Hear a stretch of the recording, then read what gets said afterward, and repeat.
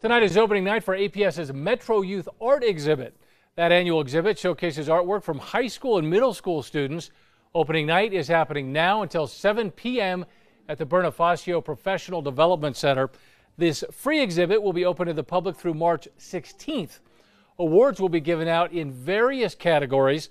The city of Albuquerque and Bernalillo County will also purchase several pieces to be part of their permanent public art collections.